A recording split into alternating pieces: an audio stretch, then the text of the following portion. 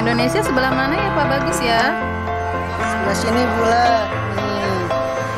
Oh iya, ini Indonesia. Kalau negara-negara ASEAN, Kayaknya dekat Indonesia deh, Bu. Ini, Bu. oh se- sebelah sini ya. Asia Tenggara.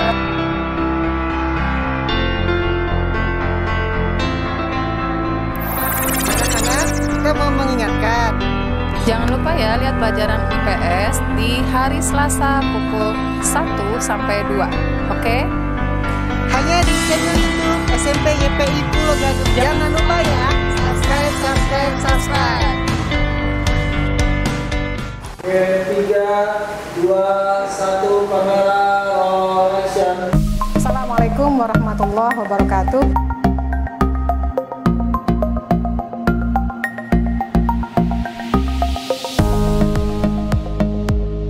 Sebelum kita mulai pembelajaran, mari kita berdoa terlebih dahulu.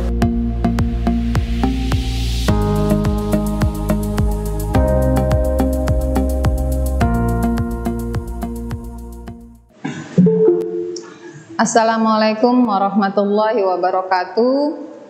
Apa kabar anak-anakku sekalian? Mudah-mudahan semuanya dalam keadaan sehat walafiat, tidak kurang suatu apa pun dan selalu dilindungi Allah Subhanahu wa taala. Oke, sebelum kita mulai pembelajaran eh, IPS dengan Bu Ula di sini, eh, kita berdoa terlebih dahulu, ya.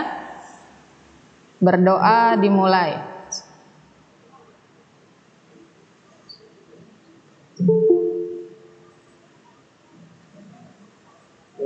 Berdoa selesai. Oke. Eh, seperti biasa, eh, alat-alat tulisnya, pulpennya, eh, buku catatannya, buku latihannya dipersiapkan. Jadi tidak ada yang tidur-tiduran, santai-santai, ya. Fokus semuanya mendengarkan materi yang akan Ibu berikan. Oke, untuk absensinya biasakan eh, menyebutkan nama lengkap ya, kemudian kelasnya. Jangan sampai kamu ikut Google Meet tapi tidak menyebutkan nama dan kelas akhirnya jadi alfa. Oke? Paham ya? Oke, kemudian yang masih tertutup foto profilnya.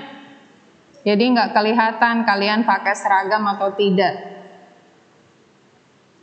Jazuli itu udah kelihatan, ganteng, soleh. Yang lainnya, Opik, Opik, Taufik Hidayat. Taufik Hidayat absensinya pakai nama lengkap ya, nggak nama panggilan ya. Yang di sini juga absensi seperti biasa ya. Oke. Oke, bisa dimulai. Eh, materi kali ini adalah ten- eh, lanjutan dari materi yang lalu tentang globalisasi. Ya, upaya menghadapi globalisasi ya. Lanjutan dari materi yang lalu bab 2 perubahan sosial budaya dan globalisasi subbabnya globalisasi materinya adalah upaya menghadapi globalisasi.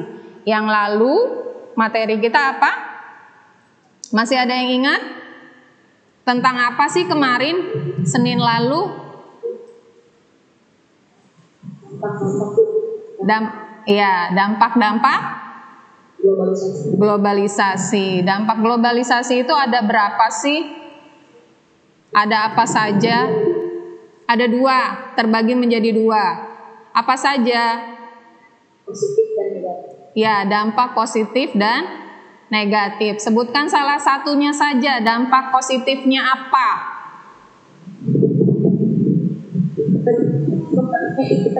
Iptek, contohnya apa? Kemarin sudah kalian kerjakan kan tugasnya? Apa contohnya? Iptek itu apa sih Iptek? Teknologi dalam berkomunikasi. Oke. Di kemudian, ah ya, Dampak Ah, ah. dampak negatifnya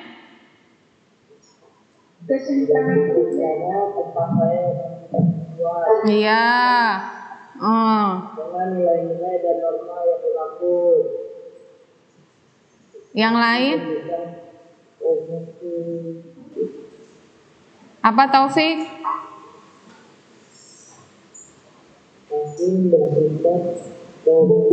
Nah, Zikri Ihsan? Allah nilai apa dampak negatifnya? Apa? Ya bu, apa?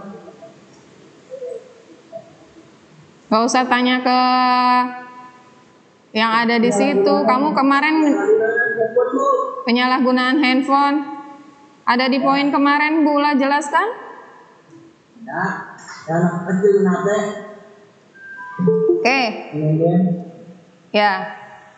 Lanjut lagi materi. Tujuan pembelajaran kali ini adalah mendeskripsikan upaya menghadapi globalisasi ya yang akan kita pelajari adalah upaya bagaimana upaya kita menghadapi globalisasi. Oke, kemarin peta konsep kita ya eh, ada tentang dampak-dampak eh, globalisasi ya, dampak positif dan negatif. Yang berikutnya adalah upaya menghadapi globalisasi. Itu juga bagian dari eh, bab perubahan sosial budaya dan globalisasi. Oke. Berikutnya upaya menghadapi bentar ada yang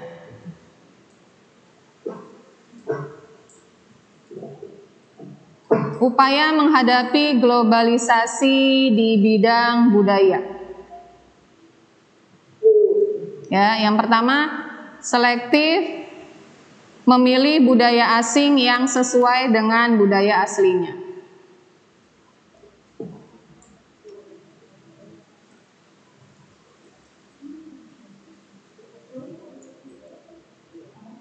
Oke, jadi kalian di sini eh, kita harus selektif memilih budaya asing yang sesuai dengan budaya aslinya.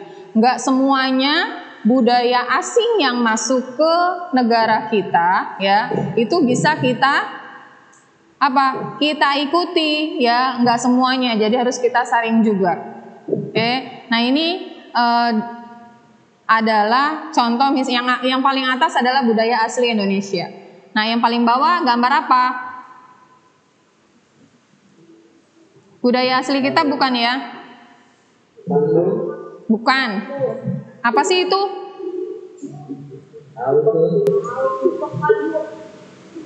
Bukan kayaknya. ya berarti berarti itu adalah budaya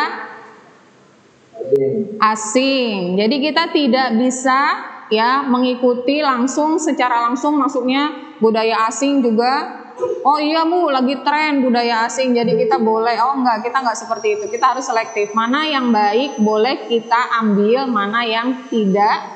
Jadi jangan kita ikuti. Oke yang ada di sini juga nih teman-temannya yang lainnya nggak bisa lihat gambarnya ya yang kedua yang kedua adalah mempromosikan budaya asli asli Indonesia atau asli negara kita ke dunia internasional. Ya, kemarin juga yang dampak-dampak e, globalisasi ada juga ya memperkenalkan atau mempromosikan budaya asli Indonesia ke dunia internasional. Ya, di sini e, belajar angklung, kemudian menari ya. Jadi turis atau wisatawan yang datang ke Indonesia juga mau belajar bagaimana sih budaya asli di Indonesia itu seperti apa. Mereka aja mau mempelajari budaya asli Indonesia. Kenapa kita tidak? Ya, ah enggak bu, oh sekarang kan lagi trennya budaya eh, ala-ala Korea, jadi saya nggak mau ah belajar nari, angklung gitu kan. Nah, itu nggak boleh seperti itu ya. Oke, yang ketiga, apa upaya yang ketiga? Menggunakan Produk-produk lokal. Produk-produk lokal itu apa saja? Contohnya?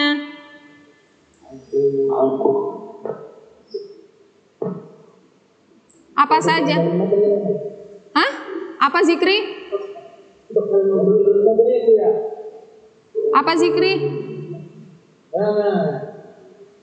Di, diketik coba Zikri.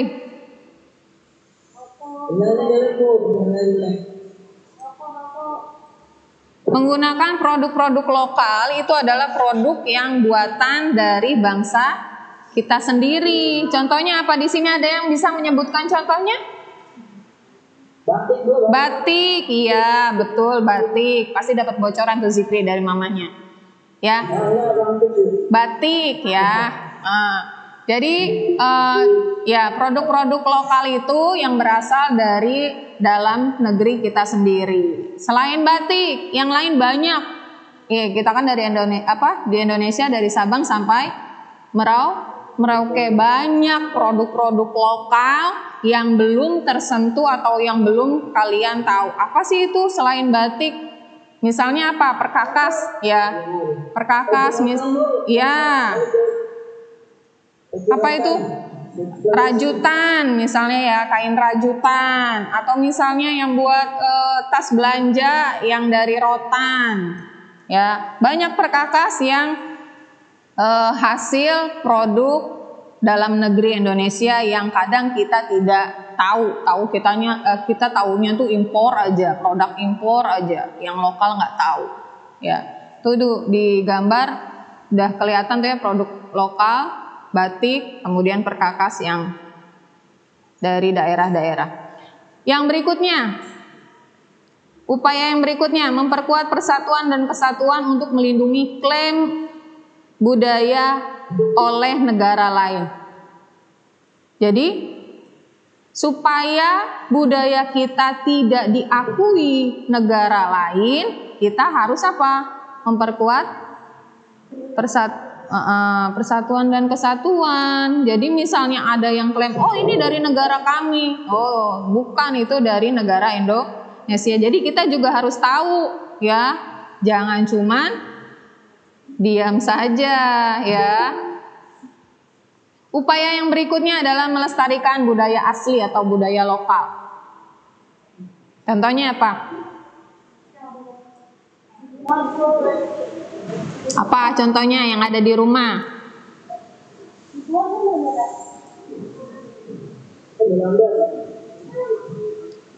Apa Sahril?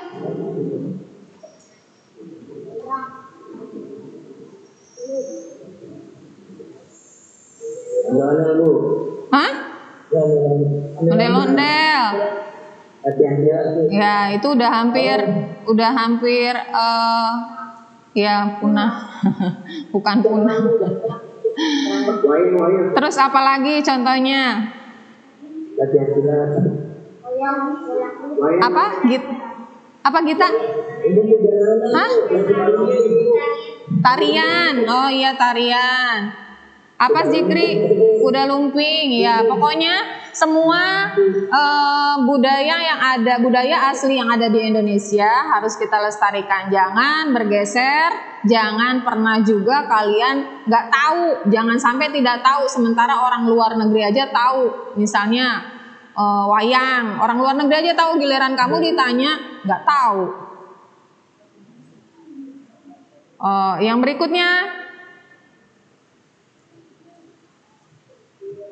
Yang berikutnya adalah upaya menghadapi globalisasi di bidang transportasi. Kalau tadi budaya, yang berikutnya adalah e, di bidang transportasi. Yang pertama memanfaatkan alat transportasi sesuai jarak dan waktu. Ya, disesuaikan, ya. Yang kedua menjaga keberadaan alat transportasi lokal sebagai salah satu hasanah budaya bangsa. Apa? Eh, transportasi lokal yang sampai saat ini masih dipakai atau masih menjadi ikon budaya bangsa Indonesia. Bajai? Delman, oh iya Delman. Apalagi? Bajai? Beca, iya betul beca. Uh-uh. Uh, kalau ya kalau bajai, kalau bajai alat transportasi lokal atau tradisional? Eh, lokal atau modern?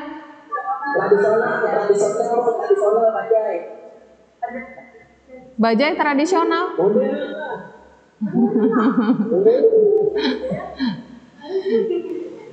eh, oke. Okay.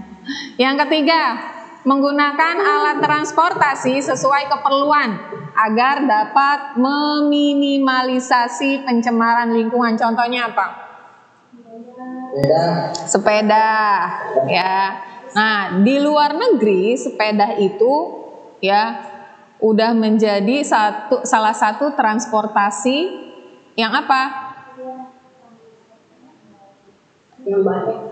Yang udah banyak digunakan untuk mengurangi pencemaran lingkungan, terutama apa? Pencemaran apa?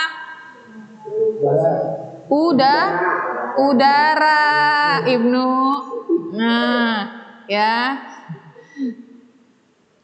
Kemudian upaya menghadapi globalisasi di bidang ekonomi.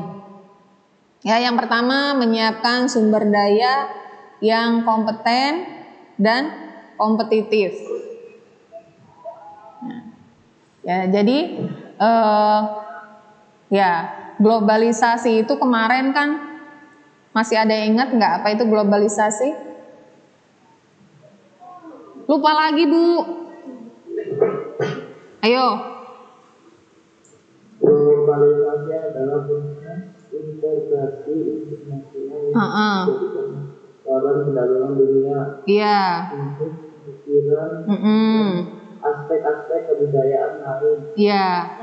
Jadi semua ya seluruh dunia udah menjadi satu center, satu pusat. Ya, jadi kita harus menyiapkan sumber daya yang kompeten dan kompetitif supaya nggak ketinggalan. Ya, yang lain sudah sampai di atas nih udah naik pesawat, kita masih masih di bawah. Jangan sampai seperti itu. Jadi kita harus siap dengan apa sumber daya manusianya. Ya, terutama sumber daya manusia. Di melalui apa? Program pendi pendidikan. Jadi nggak ada lagi nanti sumber daya manusianya dikirim dari luar negeri. Nah, kita sudah punya semua di Indonesia. Kita bisa bersaing dengan negara-negara di dunia. Kayak yang kedua, melakukan standarisasi dan sertifikasi bagi perusahaan dan lembaga pemerintah. Nah, ini kalian suka lihat kan SNI, Standar Nasional Indonesia. Kemudian standar internasional. Nah, standarisasi dan sertifikasi ini diperlukan buat perusahaan-perusahaan supaya apa? Supaya dunia atau masyarakat lain atau budaya eh, negara-negara lain eh, tahu standar yang dipakai di Indonesia sama atau enggak dengan standar yang di luar negeri.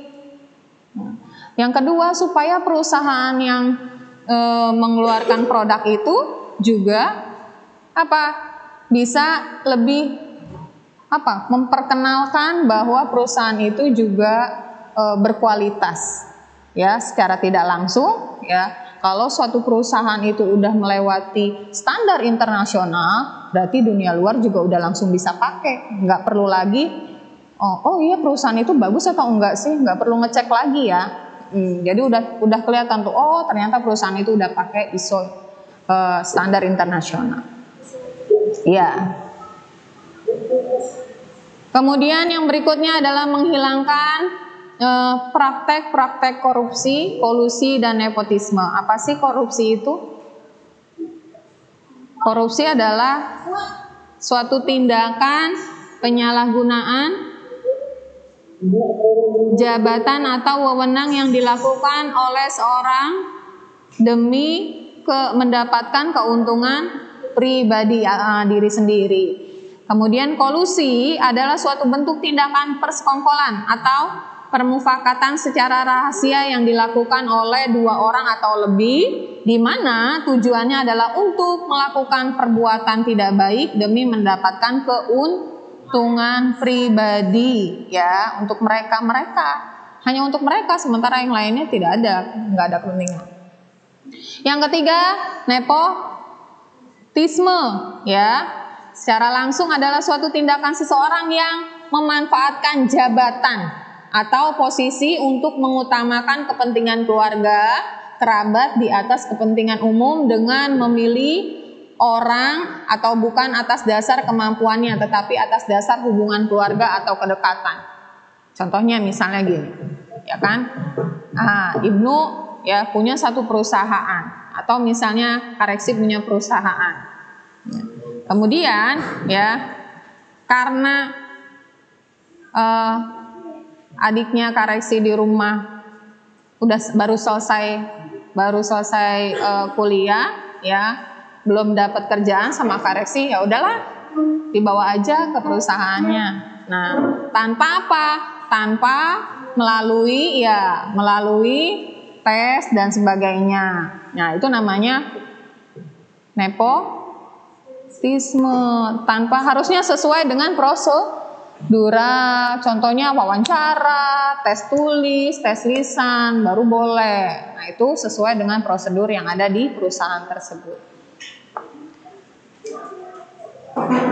Oke, yang berikutnya adalah mendorong pengusaha lokal berkompetensi secara sehat ya. Jadi eh, supaya upaya kita adalah uh, agar pengusaha-pengusaha yang ada di dalam negeri berkompetensinya secara sehat ya. Tidak apa tidak saling menjatuhkan satu dengan yang lainnya. Contohnya di gimana sih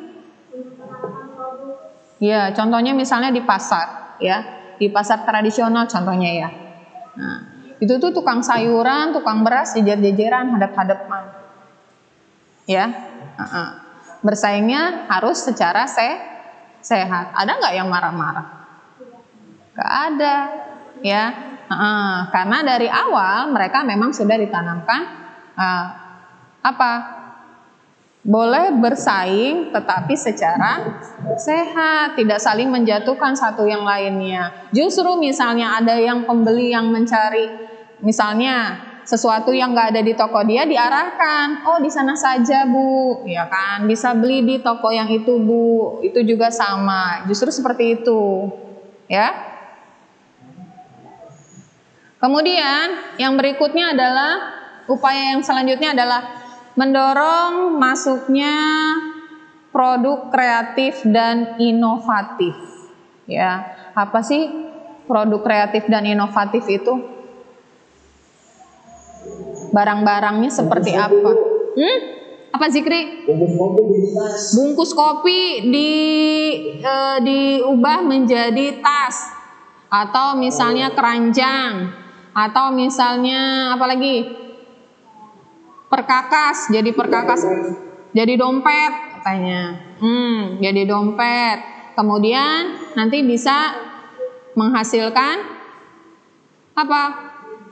menghasilkan uang. Iya. Jadi bisa uh, nah itu kan awalnya sampah ya. Ya, sampah kemudian kamu uh, menjadikan barang-barang yang bisa dimanfaatkan ya, kemudian menghasilkan uang juga. Ya, kreatif dan inovatif. Kenapa kita kain boleh Kemudian upaya menghadapi globalisasi di bidang komunikasi. Yang pertama memanfaatkan alat komunikasi sesuai fungsi dan kebutuhannya. Ya, contohnya apa? Memanfaatkan alat komunikasi sesuai fungsi dan kebutuhannya. HP atau gadget, ya. Apa fungsinya handphone? untuk mencari informasi betul kita yang lain yang di rumah bisa belajar dari jarak jauh. Bisa belajar dari jarak jauh. Nah, kalau sudah memanfaatkan atau tidak memanfaatkan sesuai dengan fungsi dan kebutuhannya berarti contohnya apa? Game. Oh, kencang banget kalau udah game. Mema ya, itu berarti menggunakan alat komunikasi tidak sesuai dengan fungsi dan kebu kebutuhannya. Itu yang disalahgunakan. Yang kedua, memanfaatkan alat komunikasi demi kemajuan bangsa. Tadi sudah disebutkan ya untuk PJJ, Bu. Untuk belajar, Bu. Ya, itu salah satunya. Yang ketiga, memilih informasi dengan cepat atau bijak agar terhindar dari apa? berita palsu. Ya, jadi nggak semua yang ada di handphone atau berita-berita secara online itu benar atau kebenarannya apa? Nah, ya, jadi kalian juga ketika kamu baca informasi atau sesuatu e, melalui handphone, gadget atau informasi apa pun, jangan di-share terlebih dahulu. Dicari tahu kebenarannya, betul atau tidak ya akurat atau tidak. Nggak asal men-share begitu sah saja. Nah, ya zikri ya. Kemudian yang keempat memperkenalkan kepada masyarakat kepada masyarakat luas fungsi teknologi informasi. Apa sih fungsi teknologi informasi Ya, untuk mencari informasi sebanyak-banyaknya tentang apa? Tentang yang berkaitan dengan ilmu, pengetahuan, dan teknologi. Jadi nggak asal aja tuh dipakai buat game, dipakai buat apa itu kalau mbak istilah sekarang tuh foto-foto, tiktokan katanya, kata kita. sih yang di sini nggak jawab tadi teman-teman kamu nggak dipakai sembarangan bu. Tiktokan game. Nah, ya. Dipakai sesuai dengan fungsi kebutuhannya dan fungsi teknologinya dan informasinya. Digunakan sebaik mungkin. Ya. Jangan asal. Wah mentang-mentang dapat paket misalnya dari pemerintah. Uh aji mumpung deh itu ya. Apa bahasanya ya mabar. Hmm, tuh kayak gitu. Ya tidak boleh seperti itu ya. Kemudian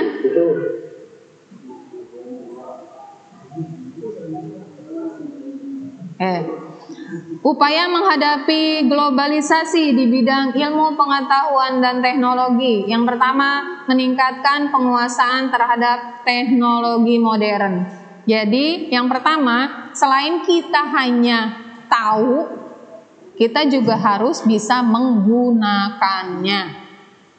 Ya, jangan cuman main game doang. Begitu pas disuruh cari sesuatu, ya, suruh cari ada tugas mencari informasi sebanyak mungkin tentang globalisasi. Ini gimana sih caranya? Chat sama temennya, eh gimana sih caranya? Eh nomor satu apa sih? Padahal apa? Yang dipegang adalah handphone keren ya, tapi taunya hanya untuk main game saja. Nah itu ya, itu adalah nah, ada yang ketawa tuh berarti tahu banget tuh ya Fikri, Fikri Fadila. Hmm. Yang kedua, mengikuti perkembangan ilmu pengetahuan dan teknologi. Jadi kalian juga ya selain tadi harus menguasai yang kedua adalah kalian harus tahu update. Ya jangan cuman update status. Uh -uh. ya jadi harus tahu juga bagaimana perkembangan ilmu pengetahuan yang terbarunya. Ya yang baru datang. Oke. Yang ketiga mengikuti kompetisi dalam kemajuan ilmu pengetahuan dan teknologi. Nah kalau kalian pintar di bidang iptek, kalian boleh ikut eh, lomba-lomba. Uh, Biasanya suka ada tuh ya. Jadi carinya tuh jangan cuma main game aja, cari lomba eh, dalam misalnya ilmu pengetahuan dan teknologi, misalnya robotik, ya, misalnya pinter nih, ya, da IPA-nya, atau misalnya seneng da, eh, apa ngutak ngatik, apa itu kalau anak-anak laki-laki itu mesin-mesin atau apa ntar menghasilkan sesuatu yang yang bagus gitu ya, yang keren. Nah itu boleh. Bu saya suka eh, robot. Ya, Nah, itu kalian juga harus cari tahu. Ya, itu boleh mengikuti kompetisi kompetisi dalam kemajuan ilmu pengetahuan dan teknologi. Atau misalnya, Bu, saya mau ikut kompetisi sains. Saya pintar matematika nih, Bu, ikut ah olimpiade matematika. Hmm. Boleh nggak apa-apa sambil belajar lagi sama guru matematikanya, ya. Yang berikutnya, mengedepankan orientasi pada masa depan. Ya, jadi kalian harus tahu misalnya globalisasi itu di bidang ilmu pengetahuan e, dan teknologi itu seperti apa, orientasinya harus ke masa depan. Jangan apa? Ah, Bu, main game juga nanti menghasilkan, Bu. Hmm. Ya, gitu enggak? Nah, Iya, tapi iya. jangan seperti itu, harus juga kalian punya orientasi. Oh iya, tetap harus tadi yang pertama apa? Harus ada sumber daya manusia. Kalian nanti akan bersaing dengan orang-orang, iya, orang-orang asing yang datang ke Indonesia. Kalau mereka doang yang pinter, ya mereka datang ke Indonesia. Ya, mereka sumber daya manusianya pinter-pinter semua. Masa yang jadi bosnya orang-orang luar negeri?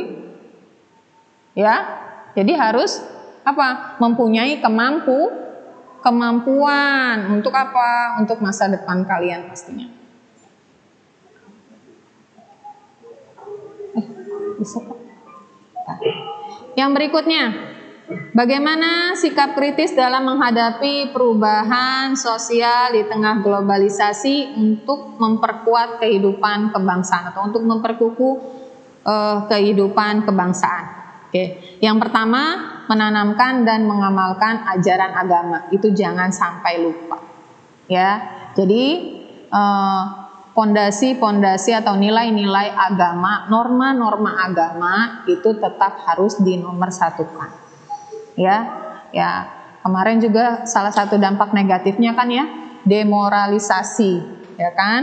Ketika apa? Berkurangnya akhlak atau moral bangsa. Nah, itu yang eh, menanamkan dan mengamalkan ajaran agama ini itu harus dinomorsatukan. Yang kedua, memperkuat jati diri bangsa. Di mana pun kita berada, misalnya kamu nanti satu saat kuliah di luar negeri, ya, kamu harus tanamkan bahwa jati diri bangsa Indonesia itu seperti apa. Ya, posisi kamu di mana pun kamu berada, ya, tetap harus apa? Menanamkan sikap nasionalisme, cinta terhadap tanah air. Oke, yang berikutnya menanamkan dan mengamalkan nilai-nilai Pancasila tadi ya. Yang keempat menumbuhkan semangat nasionalisme tadi menanamkan sikap cinta terhadap tanah air. Mengamalkan sila-sila Pancasila masih hafal kan ya Pancasila? Kok yang di sini, yang di rumah zikri. Kayaknya zikri udah udah santai lagi aja.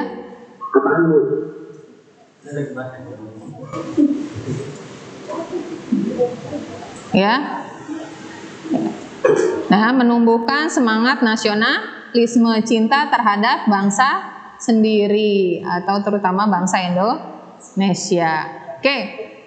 Untuk kisi-kisi ulangan eh, semester besok adalah ya, soalnya 50. Oke. 30% Ibu ambil dari bab pertama ya, sisanya di bab yang ke dua. Ya. Hmm. Jadi ada berapa bab? Ada dua bab. Bab pertama apa? Masih ada yang ingat? Sahril apa Sahril?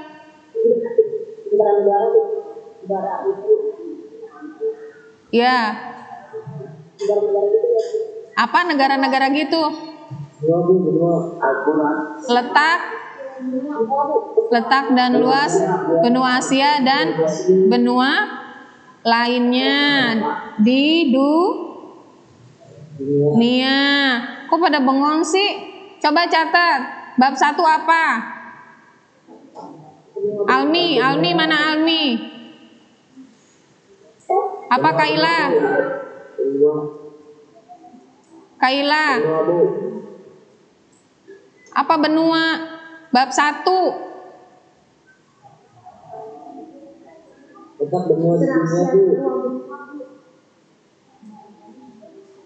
Masa nggak ada yang nggak ada yang pas jawabannya? Bab satu?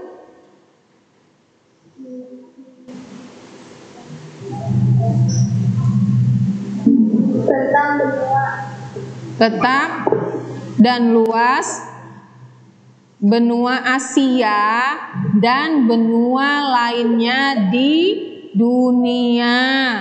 Berarti bukan benua Asia aja, semuanya ya.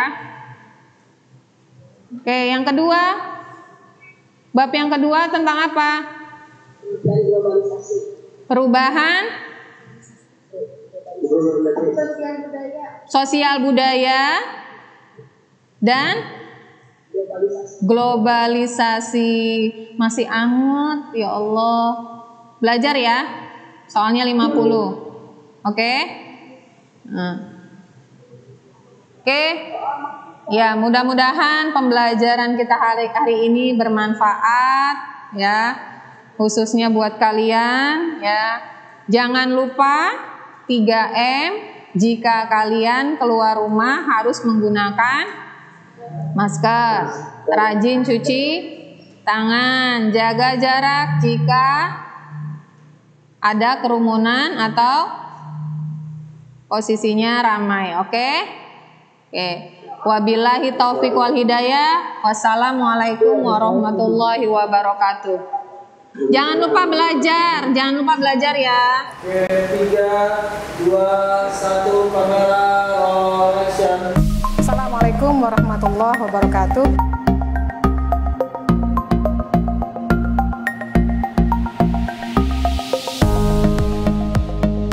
Yuk, eh, sebelum kita mulai pembelajaran, mari kita berdoa terlebih dahulu.